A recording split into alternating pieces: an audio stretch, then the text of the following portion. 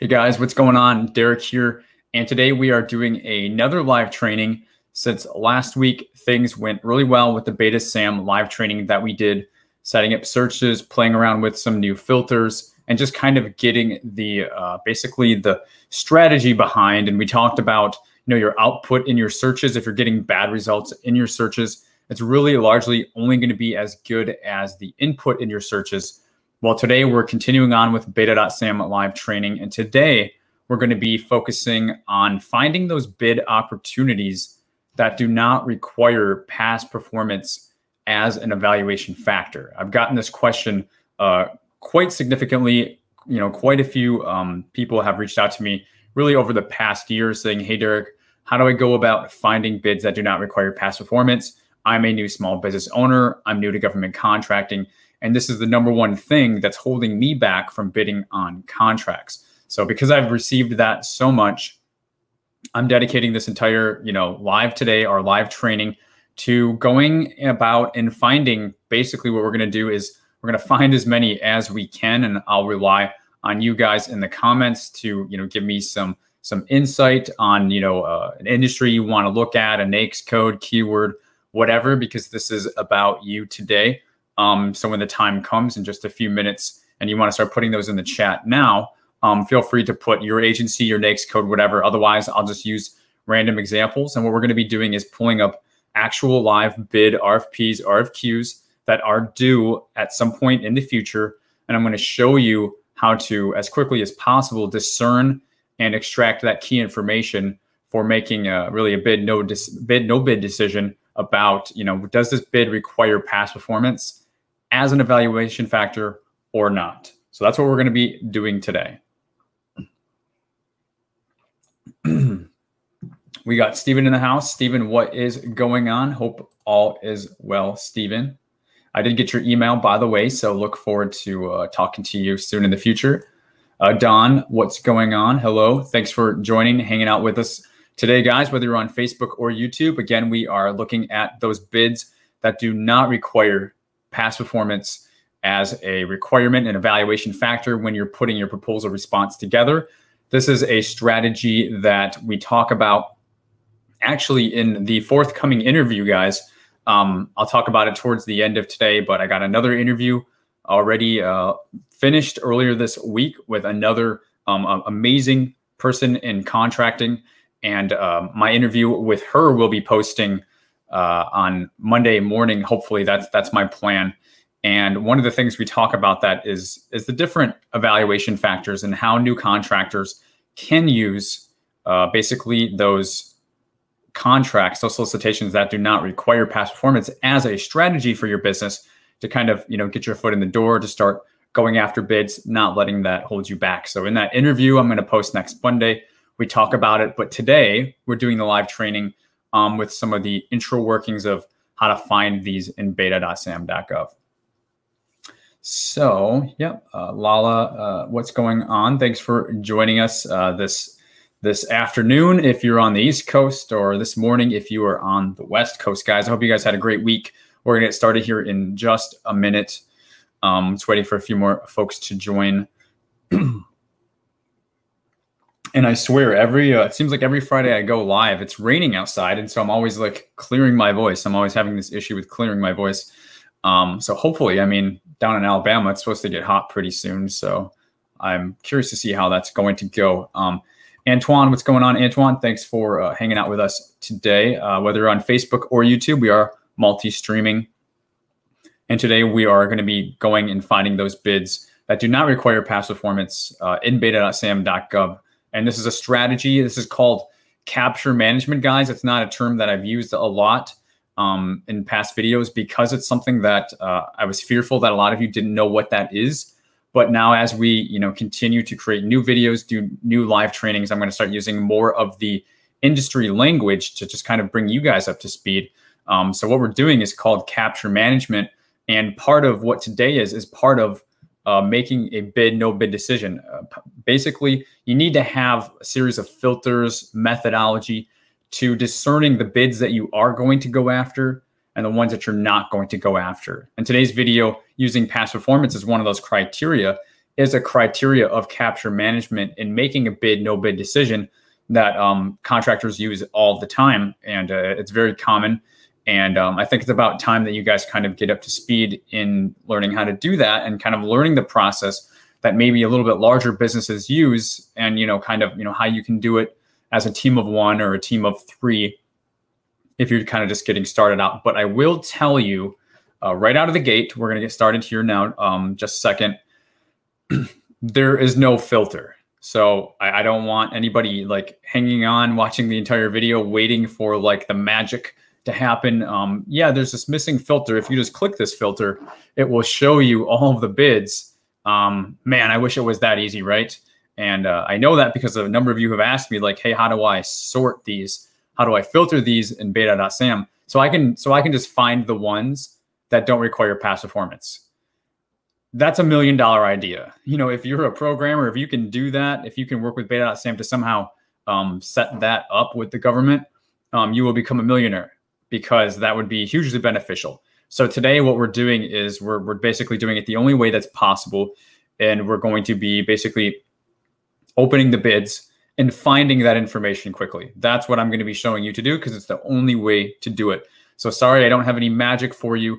But uh, again, today, that's really all we're going to be focused on. So I won't be talking about everything like I do when I read through bids live. We're just looking for past performance. And then once we find that, we'll kind of see how long it took to find that. And then we'll just move on to the next. So on to the next, on to the next, on to the next. I want to get through as many as I can today. Um, so I think we can just uh, get to it. Craig, what's going on? We have uh, me busy. Uh, thank you so much. Thanks for hanging out with us uh, as well guys. So I will now share my screen and we can, looks like I already am.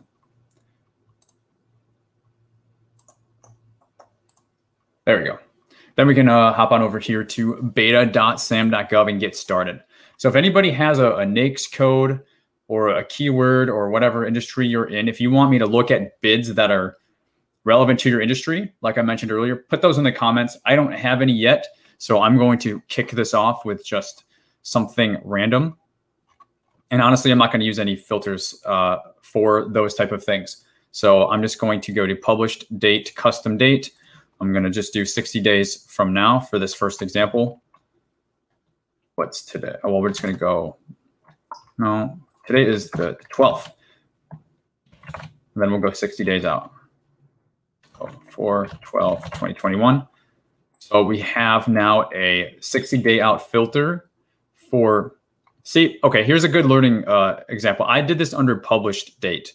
I did not mean to do that. These damn things all look so familiar. And this is something that I, I do all the time. I didn't mean for it to be published date. I want it to be response. So make sure you're doing response. Um, I may even take this out, show you how to do that. So um, this published date box, all I have to do is uncheck it and now that's going to go away. So now I can do custom date to 12, 2021 to 412, 2021, 60 days out. Then click filter because we're looking for response dates. I want things that are due in the future. I don't really care as much when they were published. It's just not actionable item for me. So we have this in place. And then the other filter I'm going to put just so I can find something and look at it for you. We have to look at stage three, solicitation, combined synopsis solicitation. These are the only bids that you should be looking at if you're going to look at something to do capture management on bid no bid. This is stage three um, of the four stages of a bid that you need to look at. Because I put no keywords, I put no no agency, no anything, um, NAICS codes. I've got a list of 5,000 and that's fine because for right now, I don't care. I can use anything. And I guys, I do see you in the, the comments putting your NAICS code. So that's awesome. So um, I do see you. I'll do this first example and then I'll bounce over there and I'll start pulling some of those. So thank you for that. Um, but again, for now, I don't care as much. So I'm just going to maybe pull something that looks like it's easier to understand for us as an example. And then I will find as quickly as possible if this requires past performance or not. Okay. Because if you don't require past performance, then, you know, a lot of you who may otherwise not be able to bid on it can bid on it. So Let's just Appian software acquisition. Okay, this looks like a name of a software. So any of you software IT folks, IT NAICS codes, um, this one is for you. It looks like they've copy and pasted the solicitation into the body of the beta SAM posting. So you will see that quite often. I'm not going to look at it because I want to go straight to the solicitation documents. So we have request for quote. Let me see what this looks like. It may be short. It may be long. I don't know. All right, let me zoom in for you. So they're looking for you know period of performance. We're not getting into that right now. Item pricing. First thing I'm going to do is go to Control F, Control Find. I'm looking for past performance as a keyword, literally to pull out of this document so I don't have to search for it. Keep in mind, this is 16 pages long, so it's not super long. Um, post award evaluation, that's not really what we're looking for. They're telling us, hey, your, your CPARs will be uh, given a rating. Your report card, if you will, will be given a rating. Um, and that's the only thing that pulls up in here. So now I'm going to go to, ex- I'm just going to type experience and nothing comes yeah, nothing comes up for experience. So no keywords for past performance or experience. That means we are leaning towards them not asking for it because that is what they would be calling it if they were uh, requiring that. So coming back up, I'm going to do a little bit more of a thorough browse. Now that I got that out of the way, we've got these FAR clauses, option to extend the terms of the contract, education acquisition regulations. So guys, the first step I do, I always do control F, just so you're following. Control F, control find, whatever it is on a Mac, I'm not sure. Um, whatever your find button is, type in past performance or past experience. It's the first thing that you should do to find it. Um, I see no evaluation factors in this document. And since this is a RFQ, they very well may just be asking for price, which would mean that this is, if we if we get there, a um, no past performance required. So it says item price, awards will be made, uh, lowest quote. So they're going LPTA on this. That's another sign. LPTA is often associated, um, not always, but often associated with not requiring past performance. And then the other thing with past performance is usually it's over a dollar threshold, and we don't know what the dollar threshold these are. But if you get the sense that maybe this is not a, a sizable job, that's another hint, another clue that it may not require it. Since we know they're just looking for 200 of these licenses for these, uh, again, this Appian software, 200 licenses. Um, this does not look like a large procurement, guys we went through to find past performance, past experience in this RFQ document. It did not show up. And there is also not any evaluation factors to be found in this document. I'm going to go to the other thing that they give us here just to make sure I didn't miss something. But this is a sole source brand name justification, basically saying, hey, you have to use these Appian, Appian specific user licenses. They don't want anything else besides this. Um, and so that's just a J and A. There's nothing in there. So I can already say it's been about five minutes. No past performance, no past experience is required for this. I will do a double check on the, uh, the body here, but it's this has just been a cut uh, cut and paste, copy and paste job. What we just read is the same information that's in the body of Beta Sam so I don't need to waste my time reading through this uh, as well. It's the same information. So really what they're wanting for this is the price, guys. They, they want a price. So this is this is example one. Okay. First thing you do, control F, control find past performance, past experience. It will pull up for one of those if they have it most of the time. You can't solely go based off of that. Steven says command F on a Mac. Yeah. So command F uh, control find, whatever works for you. Um, it's it's a go-to. Also for instruction to offers, I always do control F for instruction when I'm looking to find the proposal submission requirements. Makes life a lot easier. Also, guys, section L's, section M. Um, we did not see that because this is more of an RFQ. But towards the end of the document, um, if you have a SF 1449 or something like that, that's where they're going to put this information, not at the beginning, but at the end of the document that's another thing that you could use. But this is very much a short RFQ. Looks like price only LPTA. No past performance is required for this. You could be a new company. And if you know what you're doing, right? And that's the other caveat, you got to know how to price this stuff. You, you still got to be somewhat of an expert in this industry. Um, if you can do that and you don't have past experience, you can still win this award. It's lowest price. If you can be lowest price, say because it's just you, you don't have a lot of overhead. You know, these are things that small businesses has have as a pricing advantage. You could get your foot in the door with this agency by bidding on something like this. So let's go on to another example.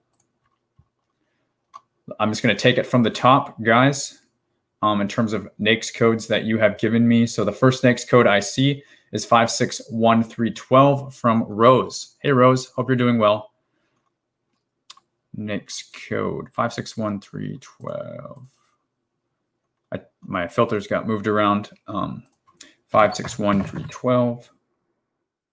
Executive search services. So Rose says 561312. Let me show you.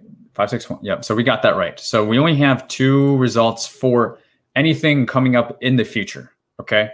Um, so I'm going to go with this SES recruitment services. And when is this due? This is due. The hell? Why are they saying 2016? Another learning uh, learning lesson here, guys. It says offers due are April 21st, 2016. We know this should not be the case because we set our filters, but it looks like my filter somehow got cleared out. So it happens.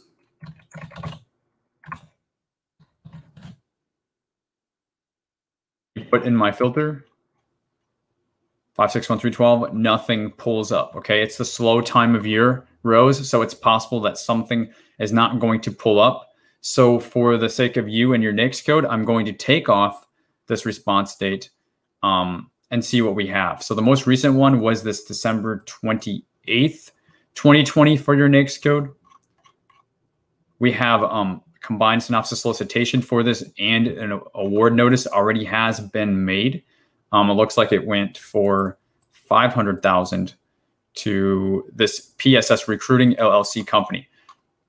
But let me see if I can get the solicitation documents. If I can, I will go through it, but it looks like it's a hot mess because it's been archived. So, so Rose, um, that's all we have for your NAICS code. So I don't know if you have something else, um, but it's not pulling up for that particular NAICS code because it's a very, uh, it's very narrow NAICS code according to beta.sam. So um, yeah, Rose, uh, sorry about that. I'll move on to the next one, but uh, add another NAICS code if you want, and I'll see if I can pull that one up. But I don't want to delay um, anything. So 484110. So 484110. Ryan, I, I, see that you also said, do you have any uh, luck searching under agency? Yeah, absolutely. It just kind of depends on what your strategy is going to be. Um, I don't look at agency as only the filter, Ryan, um, but I do do that for agency searches that are um, in conjunction with like, you know, a NAICS code and, and things like that. So a supplemental search is something that I use. So the next NAICS code I have, guys, again, we're looking for past performance uh, as not being a requirement, 484110. 484110. This is for general freight, trucking, and logistics. And this is with uh, Serena. So general freight, trucking, local. Um, this one's due Looks like it says it's due. Did it change my, I don't know what, why this keeps happening. It keeps pulling out my response.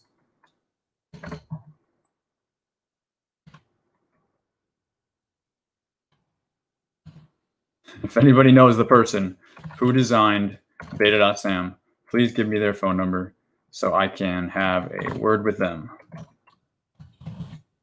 So put in the response filter again, and 484 110 it's also not pulling anything up. Again, it's the slow time of the year, and they may also be using other NAICS codes. So this actually happens quite a bit. Um, I will instead, I will just use keywords, uh, Serena, to try to find something for you. Um, I'll use freight, for example. Try and find something.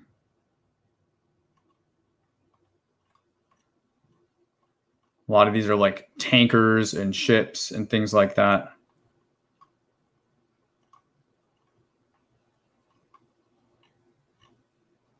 But this is, I mean, this this is real life, guys. This is real bids.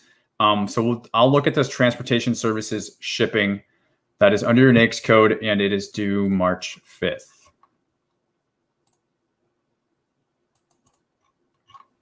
And we've got one, two, three, four, five attachments. I'm not going through all of the attachments.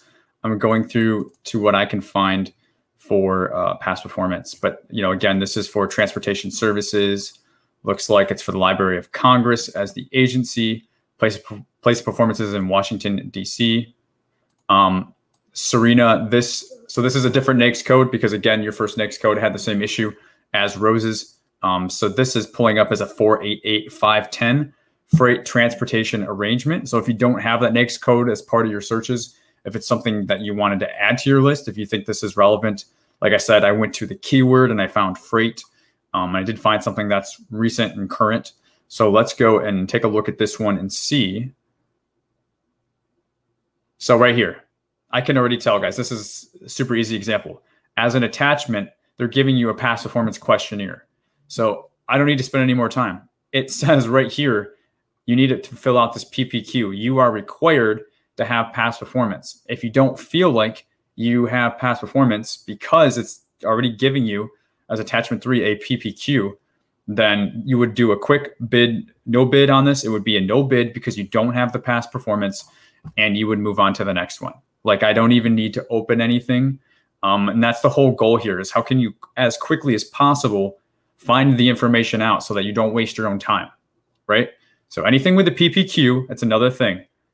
That's a, a, a dead giveaway that they're going to require that as the evaluation factor that you should not be interested in this. So um, I guess that's a good example because it's something different, right? Um, it's it's another thing to keep in mind. And it's just so annoying that I have to keep retyping this. Um, let me see here. Let me see what else we got going for NAICS code, guys. And yeah, you know, you just got to bear with me because uh, it's a slow time of year. And also, um, they use multiple NAICS codes. So certain NAICS codes have more results than others. So we can only work with uh, the best that we have to work with. But again, we're looking for those bids that do not require past performance. Uh, Natasha, Natasha, what's going on? Thanks for hanging out. Um, 541611 is her request. One of uh, my favorite NAICS codes. Administrative Management, General Management Consulting Services. Okay, so that's what we're doing right now. 541611. And we've got our response date into the future. So we have 52 live solicitations that are due at some point in the future for 541611. We're looking to quickly find, hey, if we pull up a bid, does past performance, uh, is it required as part of the proposal or not? So let's just take a look. We have this program management and analytical support services. It is due February 17th, five days from now. Uh, Department of Homeland Security, DHS, uh, with the Coast Guard as an 8A set aside. So here we go again, guys. Attachment two, past performance worksheet. I don't need another one. I don't need to open. Maybe I will just to to show you even further. But they're telling me past performance worksheet. they did it as two words, past performance worksheet. But uh, that's a dead giveaway that they're going to require past performance as an evaluation factor. SF 1449 is only two pages long, so that's not going to be helpful. Let me open the solicitation document though, and let me see if I can't find where it says it in there quickly. Might be a better uh, demonstration for you. So I'm going two go to Control F first again. I'm going to type in past performance.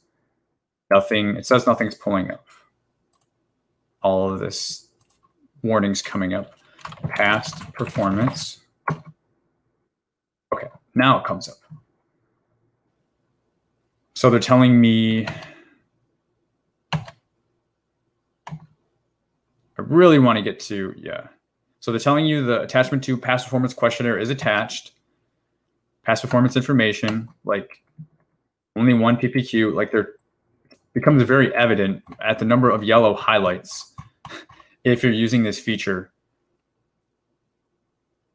that uh, past performance is required, or like the other example we had, um, it's not required. So here is pretty pretty much what I was looking for. They're saying past performance based on an overall overall review of past performance. The government will evaluate and offers past performance, determine the degree to which current and previous contract efforts um, are successfully performing in the requirement state of work. Uh, basically, do you have it or not? They're, they're starting to talk here about it. Number one, they're saying technical. It's going to be pass fail. It's going to be acceptable or not acceptable. Past performance is going to be acceptable or not acceptable and then your price is only the lowest price that's found to be technically accepted will be evaluated. So again, for this particular 541611 NAICS code, this program management job, um, it's going to be pass fail for technical, pass fail for past performance. And um, as long as you pass both of those, if you have the lowest price, you will win this. If you don't have the lowest price, you will not win. Uh, but for you, if you don't have the past performance for this, and let's let's let's stand on this for just a second. Let me let me come back to you. When something's a pass fail like this that we're seeing, it's either acceptable or not acceptable versus something that's like very relevant, somewhat relevant, relevant, not very relevant, not relevant at all. Like instead of them giving you like six degrees of being relevant, if they're giving you pass fail, you have a better chance, I would say, at going for it because they're just looking to check the box. So if you're doing your your capture management, you're making bid no bid decisions, and you're using having no past performance as one of your primary search, you know, mental search filters, you know, as a human as you're doing this. Um, if you find something that's pass fail like this, you can think about it for another few seconds if you want. If you have something that you think maybe you could use, maybe it would be a stretch, Maybe it would be close. Maybe you have some personal past performance you could use that may be good enough. Um, consider doing that if this is one that you really like. If you don't like it and it was like a stretch already and you weren't even sure about it, then you know just move on to the next one. But if it's one you're close on and you're just like, man, I wish I had this because this would be absolutely perfect. In the event that you're again seeing something, I'll come back to my screen where it's basically pass fail, acceptable, not acceptable, then give it give it another few seconds to think about. See if you have anything because they're not being as stringent. Like I said, if they're going to give you like the six degrees of being re- very relevant, somewhat relevant, not relevant at all, you know, um, then they're they're going to be a lot more thorough with looking at your past performance. They're going to be less thorough with something like this. So just keep that in mind since we're talking about past performance as an evaluation factor.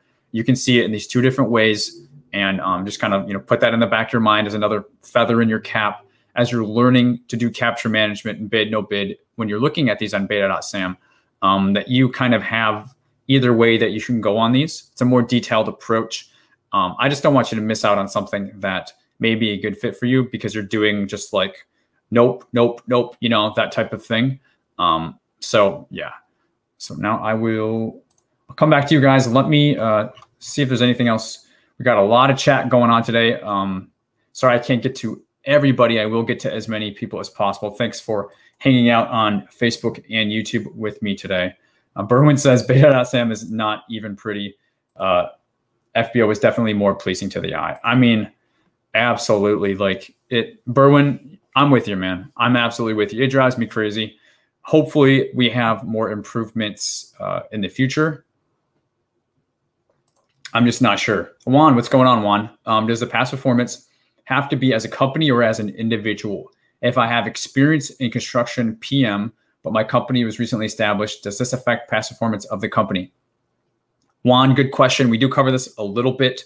If they are specifically asking for, you know, a contract that was awarded to your company um, within the last three years, within the dollar range, Juan, if they're going to be very specific on what it is they want, then it may preclude you from bidding on it. But that's not the majority of the time. Majority of the time, uh, what I would say is you can rely on other things that you're bringing to the table. I call this taking personal inventory in, in one of my, my free courses. Um, what you want to do is you want to look at your personal expertise. You want to look at any of the expertise uh, of the employees that are now part of the company. Let's face it, that's why you're hiring these employees, and you should leverage their experience as the experience at, that you're writing in your proposal's past performance, because this is going to be your approach going forward. So oftentimes they will just spell it out saying, hey, if your company has not, you know, if this is, it's called a new company exemption or a new contractor exemption. Hey, if, if your business is brand new, but you have shareholders, you have, you know, a CEO, if you have program managers that have experience in the same field, we want to know that because that's also important. So whether they actually spell that out for you or not, majority of the time, I would tell you to do that. I would not tell you to do that if they're being, again, very specific about saying the type of past performance that they want and they need it to be this, this, this, and that. You know, if they're just saying, hey, give us some past performance, should be within the last three or five years, should be between 500,000 and a million. Okay, if that's really all that they're asking for, and you have, you know, personal past experience, and if you're doing anything as a subcontractor, abs, I mean, that goes to the front of the line, absolutely. But if you don't have actual relevant company project specific jobs, then rely on the the team members of your team and yourself to start responding to bids. Contracting is going to have to make a decision. They're going to look at this and they're going to have to say it's close enough or no, this isn't what we're looking for. But you can at least give them the chance to do that. I would say you have like a 50-50 chance as long as they're not being overly specific. So on, very good question, a question that we get um, fairly often because it is a very good question and it's a bit of a, a challenge for folks it's a way that you can handle that. It's a strategy. Um, see, uh, ML Miles, is it true that sometimes you can use work experience of the own? Okay, yeah.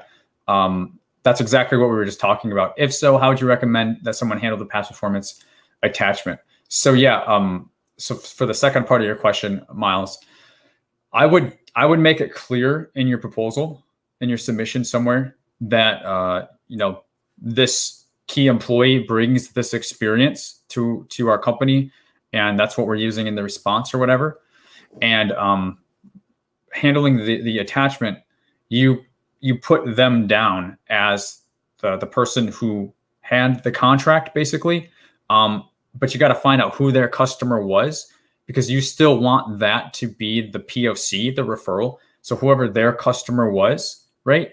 But let them know that that is tied to that employee and then go on and talk about the dates performed, the dollar value, um, the specific tasks, the PWS scope um, that was performed on the job. So everything else still is pretty much the same when it comes to the form, but find out who their customer was. And if there is a place to um, tie it to that employee, go ahead and do that in the form. If not, and you're putting it in your proposal somewhere also as well, which you probably should be, then I would just write a few sentences in your proposal and then just fill out the worksheet um, as they've asked for. You don't have to like make things any harder for yourself than you need to.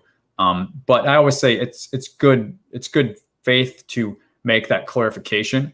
Um, but I know uh, you know from firsthand, and we talk about it in the interview that I'm going to be releasing on Monday, guys.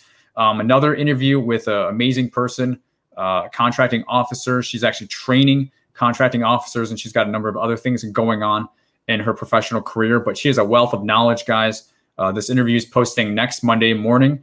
Um, and we talk about the strategy. And that's kind of why I wanted to do the intro workings um, of that today, kind of leading up to that. So um, pay attention to the, the, the, interview that comes out Monday morning. You'll hear it from a contracting officer uh, saying that uh, you can use this. You know, that's the reason why you hire these people to leverage their experience. And she talks about the same exact strategy. And it was very validating to me to hear her talk about it as well, because it's something that I've done and I've seen done and had success with. But hearing about it from the government side, they're just, you know, they're just people too. So um, I would say stay tuned for that, Miles, as well. Um, and all of you guys, it's going to be amazing interview. Um, I finished it, editing it uh, yesterday. I'm super pumped about it. And, um, you know, it's just going to be so much value for you, just like these recent uh, interviews have been as well. So hope that answers your question. Um, Ebony was asking, uh, and, and then I'll, we'll get back to pulling NAICS codes next because um, I know I've been in the chat for a while here. So we'll get back to looking examples really quickly. Um, Ebony says for the hotel bid, do you know if the hotel does net 30, how will it provide funding before the government send funds? Um, Ebony, just like any other contract, you have to float that. So uh, it's typically net 30, but it may be um, 30 days after the contract's performed that you invoice. So it may end up being a true uh, net 60. Um, but, you know, Steven saying hotel typically takes deposits, Steven said, um, and that's true. So depending on what sort of deposit or arrangement you can get with the hotel, hey, I recommend doing what's best for your cash flow. But when it comes to the government side of things, you're looking net 30 to net 60 for hotel. That's just uh, that's just the truth. That's how it is. So um, let's get back. Um, this last one we were finished with, and we used Control F to quickly find, and we also saw that there's a past performance worksheet. So we could have passed on this within about five seconds of looking at it, but I wanted to take it a bit further to demonstrate how you can use um, you know, basically control F to find past performance and past experience to quickly figure that out. All right, so my filters are still good to go. Let me try to get another NAICS code from you guys. And again, I'm sorry, I'm, I'm not going to be able to get to everybody. Um, love the engagement. Don Taylor, 531390. Let me see if we can have anything here. 531390. That pulls up. So it looks like these are all due at some point in the future. And this is a uh, real estate related NAICS code, guys. And this one is for Don. Thank you, Don. Um, which one of these do I want to open? This is a sole source award, special notice, not really interested in looking at it. Intent to issue supplemental agreement. These are the same. This is with the Army. So I guess let's take a look at this and it's special notice because I took off my my solicitation filter because it was just being too restrictive. But even with this, it looks like it's not working. Special notice, special notice, special notice, special notice. So Don, all of these NAICS codes uh, for the future response due date are pulling up as special notices. There are no currently live bids for this NAICS code. Um, I will go to real estate as a keyword instead and see what we can pull up. I will add the solicitation filter on it though. So we've got 20 property preservation and inspection services. I'm going to try to find something that, since you're looking for real estate, that may be a good fit for you based on what I know.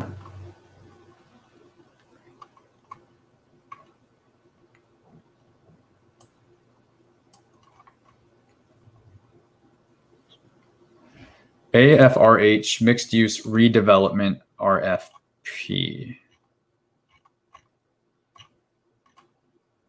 So we have a whole bunch of whole bunch of attachments on this.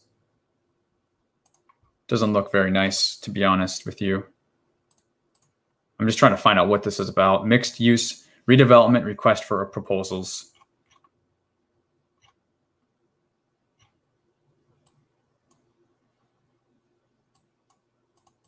I mean, they're they're doing some sort of repurposing for the land. That's really all that I can say. This is not the solicitation doc, so I'm going to back out of this. That's more of the work being done. I do not see any PPQ, any past performance worksheet or questionnaire that's just jumping right out at me. So um, so far, I'm not able to make that bid, no bid decision on whether or not past performance is required for this. So I have to do a little bit more digging now. Um, and even by these naming conventions, they're a little they're a little whack because uh, I don't even know what all of these are, um, which is is good example for learning purposes for you guys. So uh, this is amendment one, amendment two, questions log. This might be the RFP doc right here. This is what we just had open. So this may be the RFP doc. What agency? This is GSA or? Yeah, GSA Public Building Service. So let me check this out. Past performance. Okay, so um, I did past performance. It does look like, in fact, this is a RFP doc, even though it's very, very different than what we're used to seeing, guys. Um, it's kind of why I like venturing out into scary places with you guys because hey, I've not seen it all. Um, this does not look like a, a, standard bid that we would see, but uh, it does take us to the table of contents for this RFP, where they're taking us to the evaluation criteria on page 22, called corporate qualifications and past performance. Go, no go. I'm going to go to page 22 and let's just see what this says. The offer must submit at least four and no more than six reference projects completed. So, boom, there you go. If you're looking for something that does not require past performance, this is not for you. This is, in their words, a no go because uh, they want four to six projects. And, you know, this is somewhat uh, real estate. Hopefully, um, this is close enough. Don, maybe maybe it's not. Uh, I did my best, Don, um, to find something real estate related. Uh, but this would be a no go. So if you if you didn't have past performance, past experience, um, and you see this, it's like, okay, let's stop. Let's, you know, let's move on to the next one. So uh, the control find, you know, control F, whatever it is for you. Um, it's a very powerful tool for navigating these documents if you know what you're looking for.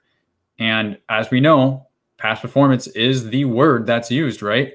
And for every single one of these where they did require it, it has pulled up and used that keyword and, and found it um, right off, you know, right off the bat. So within literally within seconds, guys, we can often find out if something requires it or not. I'm not going more into these, which is weird for me, but I'm trying to stay on focus. So it's like, hey, find out the answer, move on to the next. I'm not going more into these like I normally would because uh, I'm just trying to play the numbers game and show you how on anything we can use this process to quickly get this answer so that you can stop wasting your time and so that you can find ones to bid on and, and get in the game and start going after stuff and maybe start winning. I mean, ultimately, that's what I'm after for you. This is just one of the, the strategies to get you into the game. But also, we need to get you not wasting your time or spending a lot of time to find something out that you could find relatively quickly, right? So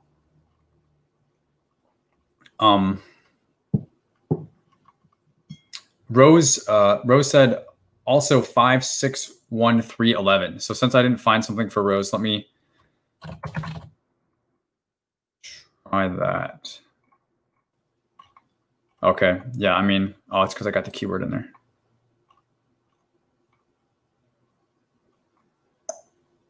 So January, yeah, no, these are still super old.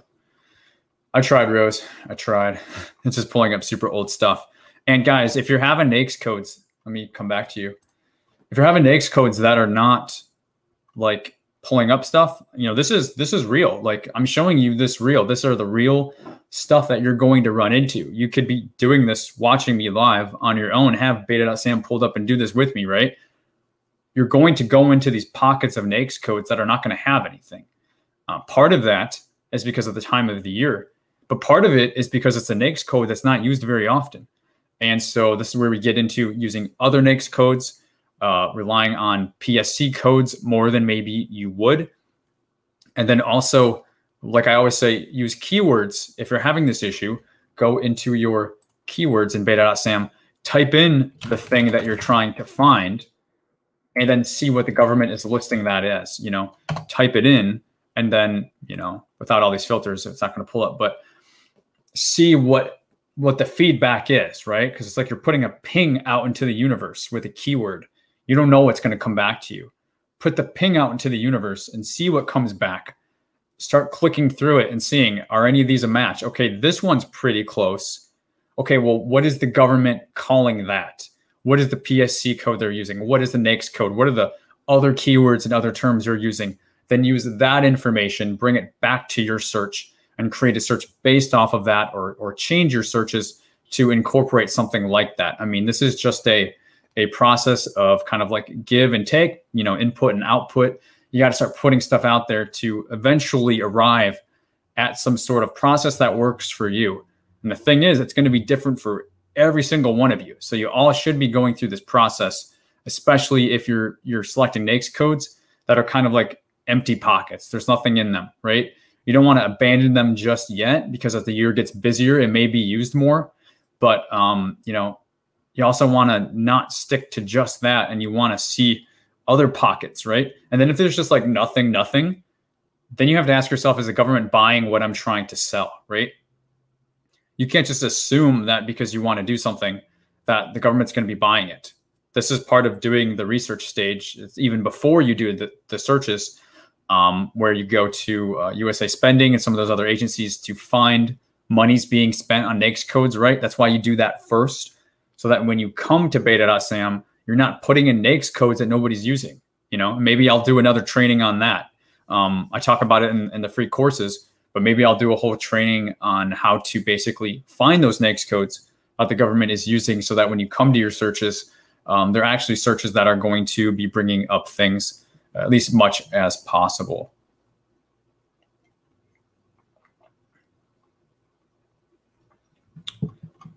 But hope you guys uh, are having a had a great week. It's already Friday. This week absolutely flew by for me. Um, Antoine saying, yes, who designed this? I hear you, man. I hear you guys. Um, we have LaShawn uh, Duncan here. Um, let me pull up 524291. 524291. 524291 claims adjusting. Maybe one of those. See, it took away my, every time I put something in, it takes away my response filters. So this was due back in 2015. It's the only one that pulls up. Um, so it's just another example of one where there is not a lot on the street right now, um, unfortunately. But let me take away that NAICS code. Let me go to claims. Actually, let me go to adjust adjusting. maybe, maybe this will work. I'm to go to, I think there's a better, maybe a better NAICS code. I'm going to go to the, the NAICS code table. I mean, claims adjusting, you're kind of dealing with insurance, direct property casualty carriers, um, dental, other direct insurance, reinsurance carriers. Let me see here. Insurance agencies and brokers. That one may be a good fit for claims and adjusting, maybe. Or wait, 524291. Yeah, so you looks like you already saw this. Yep, 524298. So um yeah, LaShawn, you are you are ahead of me because you listed multiple NAICS codes. Um, so let me just try one of the other NAICS codes. It looks like we were both going in that same direction there. Um, but I can I can tell you right off the bat, guys, uh, claims adjusting insurance. I mean, FEMA is huge. You know, we had Robert uh, inter Robert's interview posted earlier this week. Robert, um, PM, and also uh, in contracting with FEMA. Uh, lots of insurance claims adjusting type work with FEMA um, for obvious reasons, right? So uh, we're not getting into that today either. But agency can very much drive the type of good or service that's being bought, right? Um, sometimes it's just using a little bit of common sense with uh, you know what makes what makes sense. So let's do this. Guess we can do this one. Hmm. These are all these are all old still, but I'm gonna see if I can't pull it up anyways. Looks like I can still pull it up. EXIM Insurance Advisory Services, probably somewhat close, but let's just see. Let's see if we can find, does this one require past performance? Let's just, let's just see. If I could spell. not a nice looking document at all. There's this very nasty text that they have here. So they're telling us here, um, here's the evaluation section, guys. Um, this is what we would see. Evaluation, instruction to offers is probably not too far behind for this one. But evaluation, they're telling us here. One, technical capability. Two, price. Three, past performance. And then after that, it's the reps and certs that we talk about. So this didn't take didn't take long for me to find this, right? Um, this does require past performance. It's really not. Uh, there's your long list of reps and certs and clauses. Man, this is just so not nice to look through. Um, but yeah, that's like that's the answer for this one. It does not require past perform or it does require past performance. So it would be a no go if this is part of your uh, capture management bid strategy, your your bid capturing strategy. Uh, so yeah, and then yeah, um, this is the SBA NAICS code table uh, that we use quite a bit. Steven says, does corporate past performance mean personal past performance? No, Stephen, it does not mean that. Um, oh, but you said uh, also said like at your nine to five. Corporate past performance is referring to past performance that your business has. The entity that you registered in SAM.gov, it's referring to jobs that that that, that entity, that business has performed worked under. Personal past performance is any performance that you or maybe a team member or, something brings to the company because they themselves have worked on that and now they are key personnel, right? It's called key personnel or shareholders in the company. Um, and now they bring that to the company moving forward. So that's kind of the distinction. Um, corporate does not mean past performance, it means that of the business. So hopefully that helps. Um, Antoine says, yes, the training on how the Gov uses those codes would be helpful. Thanks, Antoine, uh, as a vote for that. I will keep that in mind for future trainings. Absolutely. Absolutely. Guys, if you said something and I missed it um, and you want me to get to it, repost it. Um, if you don't mind that I missed it, then don't worry about it. Uh, it's just, uh, it's a lot for me to get through and I can't get through everything. Um, we have uh, Tim Hatmaker. I'm under my husband's account. Okay. Oh, Candace. Hi, Candace. I'm Argentinian. Hopefully, I said that right. That's awesome. Just so I just got my female uh, minority certification for Florida. Awesome. This is also intimidating. Thank you for your help. Um, yeah, uh, absolutely, Candace. Um, I know it's intimidating. Uh, I'm sure everybody in the, the comments in the chat here, our community, um, could kind of let you know that at one time or another, they've felt the same way. I've felt it. Um, you know, I still feel it from time to time. Uh, certain things never go away, right? Uh, but the whole point of this, the channel, the community, all of us here, it's to help each other out. We're all trying to grow businesses. We're all trying to, you know, win government contracts, um, so that you have a place to go where you're not alone. You know, you don't have to sit in your office by yourself and sit behind a computer and say, "Man, oh man, I've got to do this stuff I don't know exactly what I'm doing, but you know, God bless you. You got the willpower and you're going to push through. Well, hey, you know, you got a group of people that are, are here to um, help you and support you. And, you know, nobody can do it for you, but if we're doing it together, it kind of makes us feel a little bit more sane. So um, thanks for joining us and checking things out. Um, video 40. Thanks, Derek. Can you try, let me see here. Can you try five one, two, one, ten. Let me give it a shot. It's, we've had about 50 50 luck on these um, by NAICS code. So let's see. Five, one, two, one, ten. Motion picture and video. Now let me dare to add a response date right now.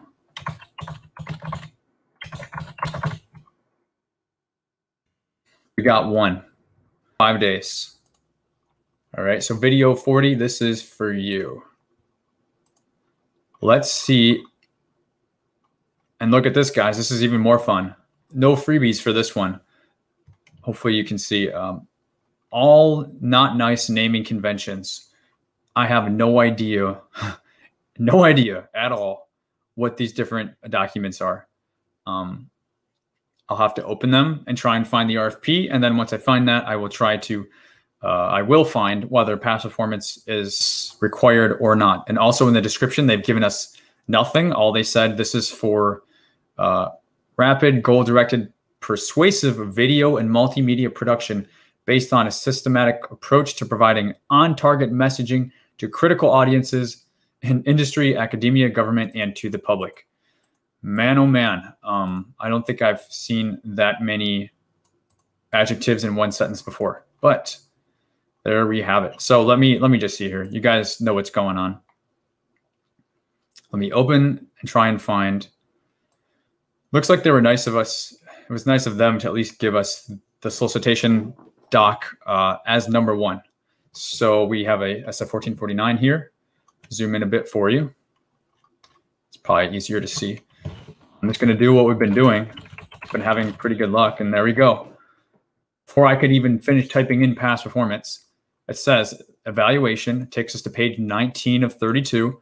The government will award a contract resulting from offerers using the following factors technical, past performance, and price. Technical is significantly more important than past performance and the price. So they want to know how you're going to do this. They want to know your approach. How are you going to meet the statement of objectives, the statement of work, the PWS? How are you going to do the work? That's more important than your past performance and your price. So they want a company that knows what they're doing. Odds are they are not going LPTA on this. Um, odds are this is going to be a best value requirement because they want to pay for somebody who knows what the heck they're doing. Um, part of that's going to be past performance, but an even bigger part is the technical response. But for today, that is our answer. This one does require past performance. And so um, you would be no bidding this. Again, if you didn't have past performance and this was part of your strategy, within really, before I could even finish typing out the control find search query, it took me to page 19 and it told me that. So um, is this helpful, guys? I know. Let me know in let me know in the comments because that's really what this whole video is about. Let me know is this in some way helpful for you? I didn't know exactly which tactic was going to work best for you um, and best in showing you in this live training. But I've, I've showed you five or six of these now. And in all of them, we were very quickly able to find out whether past performance was required or not after watching this, is this something that you think you can do on your own? Um, I know it's not as simple as checking a box in your beta SAM filter saying only show me the bids that you know do not require past performance, right? As I said at the beginning of this, we're not we weren't doing that today. We were going to have to go through the motions because that's the only way possible to do it. But you know, let me know in the in the chat in the comments if this is helpful. I mean, Half of them we're able to find just because you can identify it in the attachments. You know, another third or two thirds of them we're able to find. However, the fractions work out. Another big chunk of them we could find by just using Control F, right? Um, and then for some of them, we have to just go hunting a little bit. And if we don't see it, go hunting a little bit further to make sure we didn't miss something. And then we can verify that, hey, past performance is not required for this that um, you know you would be able to bid on something like that. Um, ML Miles says, yes, this is helpful. Okay, awesome. I'm glad that is helpful. Um, Video 40 says, what is a document where you usually can find the past performance?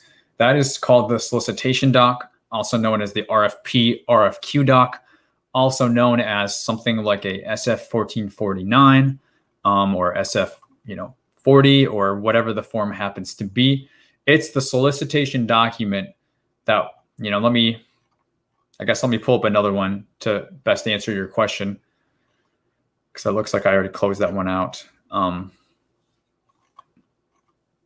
do i have any more NAICS codes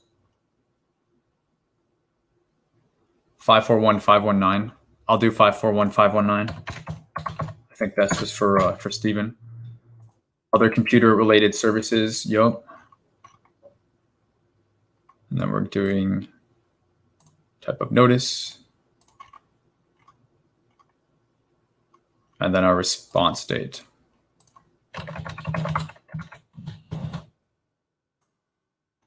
Okay, so for Steven, um, we looked at the Appian one before, so it looks like that's under the same NAICS code. I'll look at a different one though.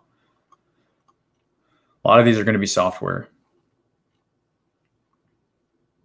And if I have to, I will pull up a software one. Marriage data RFP. That's going to take us to Fed Connect. I'm not getting into that today, so I'm not going to look at Fed Connect.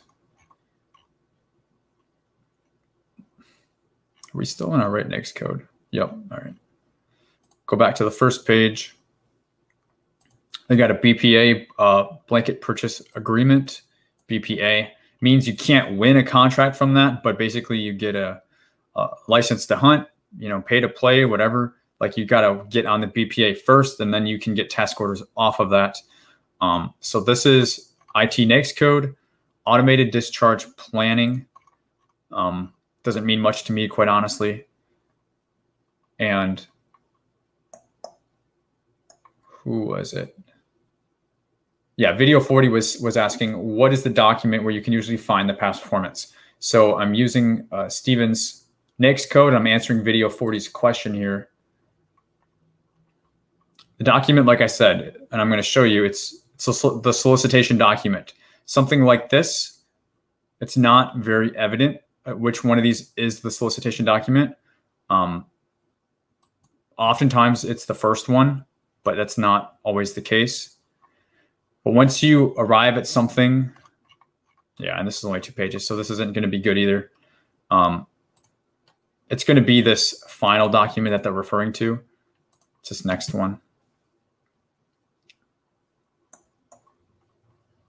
So uh, video 40, this is the document I'm referring to. It's usually the long document, the document that's super long to look through. Um, sometimes it's 100 pages.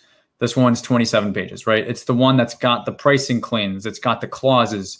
Um, this is the document that will also have instruction to offers, section L, um, or evaluation factors, section M, where past performance, evaluation factors, all that is going to be housed. Essentially, what is it that you need to respond to this with? That's in this document. It looks like this. It's sometimes an SF 1449 form. Other times it's not though. Like that one, um, I forget what it was, Library of Congress or something. That one that we looked at a few examples ago had a table of contents and a whole bunch of stuff we're not used to seeing. But then in the table of contents, it said evaluation criterion, um, evaluation factor, technical price, right? So sometimes it looks like that. They're they're not the same. There are no cut and dry templates. Um, it is supposed to be sections uh, A through M. You can see section B and sections, uh, you know, go A, B, C, D, E, F, all the way through M. And then sections L and M is where this stuff is supposed to be.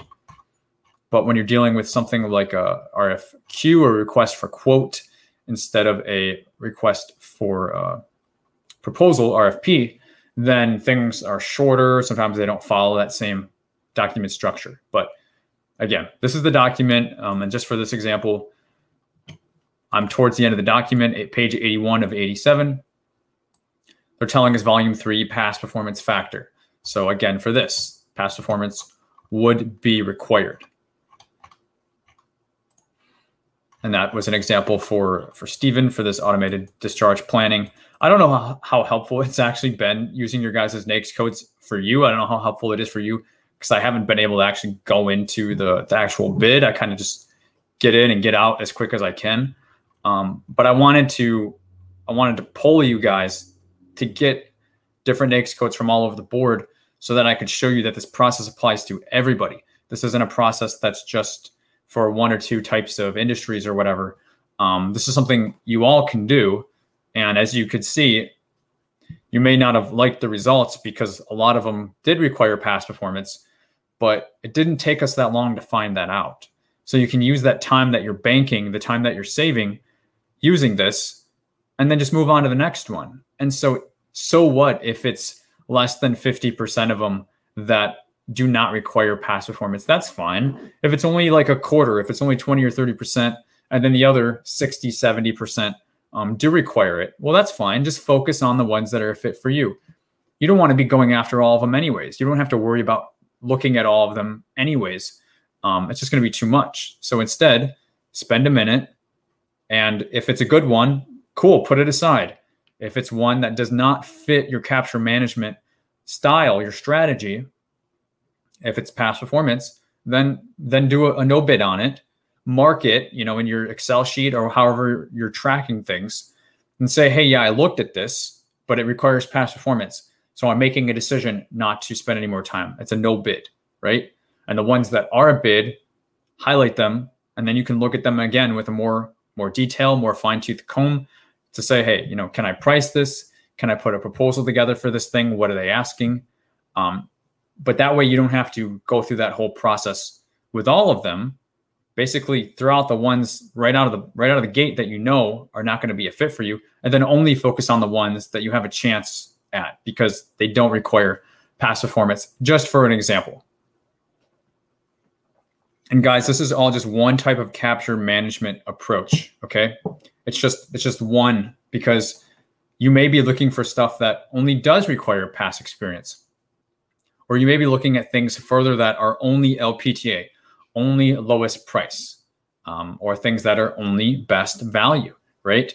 Or only things that are within my state, or you know, there's there's so many different uh, methods and approaches to capture management. You know, it all just depends on what's right for your company for your your year looking ahead before the, the busy time and right now is here let me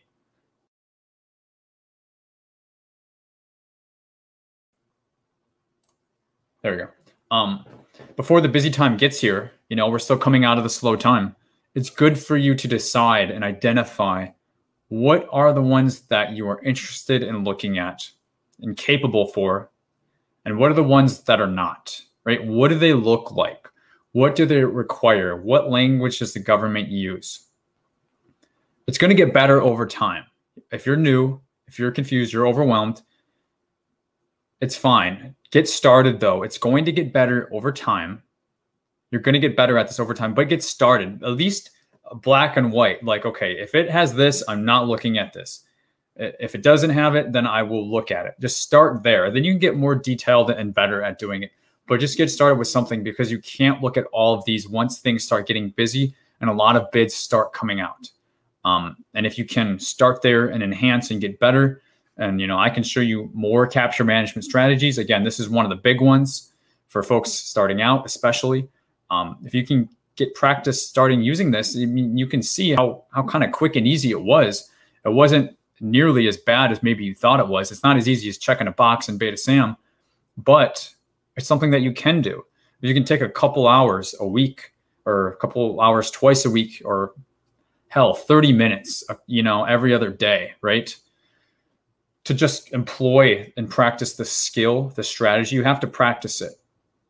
And just let it let it be like a game. That's another thing that we talk about the interview with uh, the, the contracting officer, and you know she's so much more than that. She's training contracting officers. She's a wealth of knowledge. I can't wait for you to see it on Monday. And, and another brand new interview I just did the other day. Um, we she talks about. She says make it a game.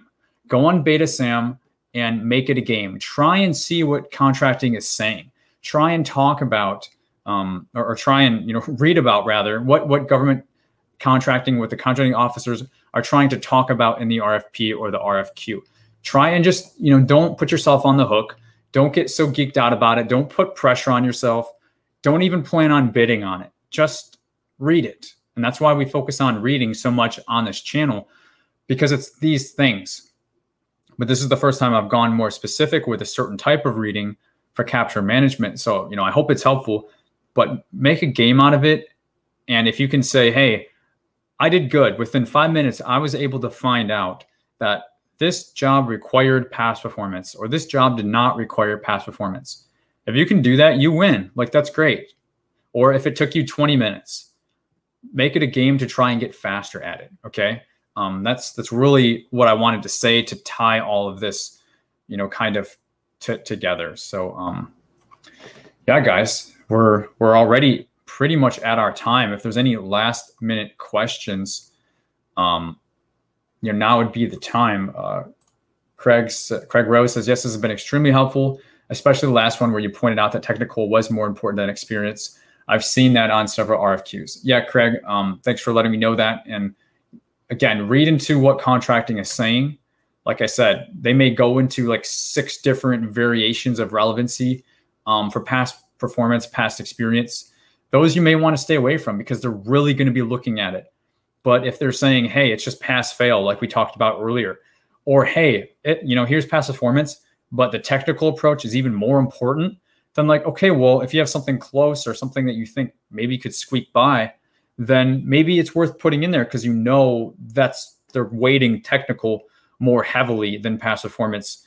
Um, and so if you can double down on the technical, you know, maybe it'd be worth it. You know, again, these are all gray. It, this is all an art for you to come together, an art and a science um, for your business. But uh, yeah, absolutely, Craig. Absolutely. Miles says he's got to run. I got to run too in just a second. Thanks for thanks for hanging out. Um, Berwin says thanks for the Cape Statement download. Easy to use and pleasure to watch. Awesome, Berwin. Thank you for that feedback. Berwin's referring to the Cape Statement downloads that um, I have on my my website. They're not free; they are paid, but um, I think you get a heck of a lot more value than the price I charge for them. Considering people charge anywhere from $500 to a thousand dollars, and I think you get like seven or eight templates with like I have 16 video series that talks about the capability statements, um, each section step by step, how to change colors, change fonts, change pictures, where you can get free pictures, all these other things that um, I found people struggle with capability statements. This way you can make the template truly your own. So that's um, what Berwin is saying. And, and thanks for that, Berwin.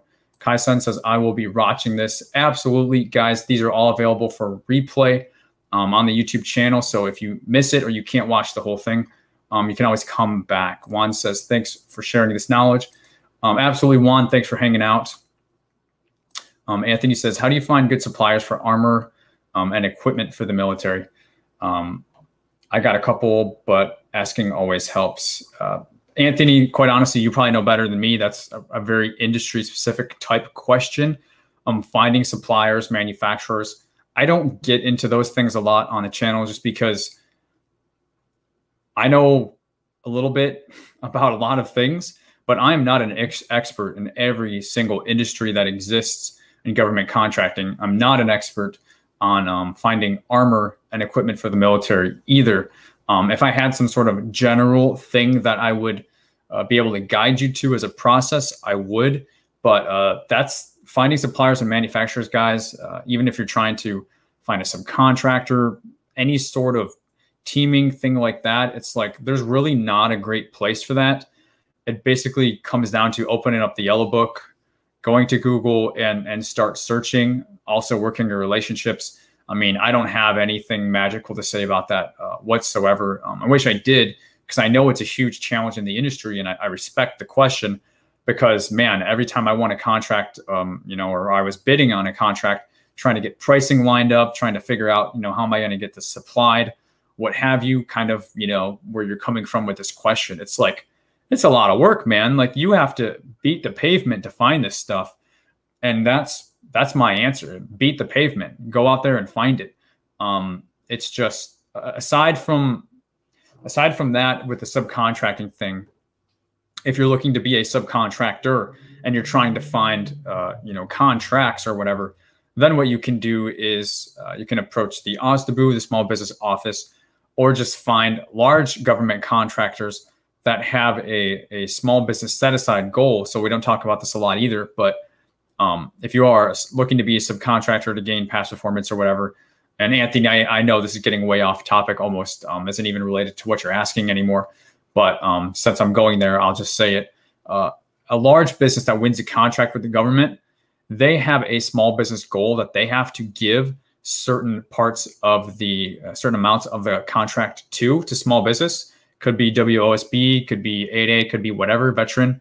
Um, so you can approach those companies and say, hey, I know you have a small business goal. We would satisfy this. We can do part of the work. So it's basically like a, a backwards thing. Um, based off of what Anthony was asking. But again, Anthony, your question he's got to beat the pavement, man. I wish I, I, had a better answer for you, unless you have relationships or something like that. Um, these things are so geographic specific sometimes that, like, well, what's going on in California is not going to work for what's going on in North Dakota, right? Um, so that kind of prohibits. And I always say, if anyone is able to invent some sort of website that ties all this stuff together for subcontracting, suppliers, manufacturers, um, that's going to be like the next Amazon. Like if anybody's able to create that, it's going to be the next Amazon. Um, so yeah, it's it's a huge need. It's definitely definitely missing. Yeah, Berwin uh, due diligence. Yeah, Steven says eBay. I mean, that's I mean, if you go with the umbrella of beat the pavement, everything eBay, Amazon, like um, what have you, like there's there's like everything's an option on the table at that point. Juan says, "Where can I find more information about those small businesses?" Juan was referring to the um, the question about large business contractors that have it as a requirement to set aside some of their uh, work, a percentage of their work for small businesses as a small business goal. Where you can find that is you go to the agency OSDBU, and they have a list. They actually have a list of uh, the large contractors, and um, I've had it many times where the OSDBU, the small business specialist, gives me a list and say, "Hey." if you're looking for subcontracting work, here's the companies, here are their phone numbers. Um, call them. They all have small business goals to work with small, uh, small business government uh, contractors, just like themselves, but they're large. So, um, yeah. So I think we are well past our time, guys. So I'm going to call it. Uh, like I said, stay tuned Monday. Uh, something to look forward to. That's why I'm I'm releasing these on Mondays. So you have something to look forward to Monday morning. Awesome interview with a, another uh, point of contact in contracting, but uh, she also has an amazing background in financial management and budgeting for her agency. So stay tuned. On Monday morning, I will be releasing another uh, interview. I'm going to try and keep them coming as much as I can. We referenced a few of the things from that conversation today. So I hope you guys are excited about that. I know you're going to love it. I know it's, you know, every one of these is different. Um, and I hope that you're finding value in them because uh, they really are jam packed with a lot of good things. Um, if you like this video, hit that like button if you have not yet. And uh, if you like government contracting and you're looking for a space, a community to kind of hang out with other people that are just like you, consider subscribing to the channel because government contracting is all that we do. We go live every week and we also, you know, do cool videos like the interviews I'm talking about um, and a lot of other cool stuff. So thanks for hanging out, guys. I'm going to call it here. Um, we'll be in touch and uh, have a great weekend. So take care.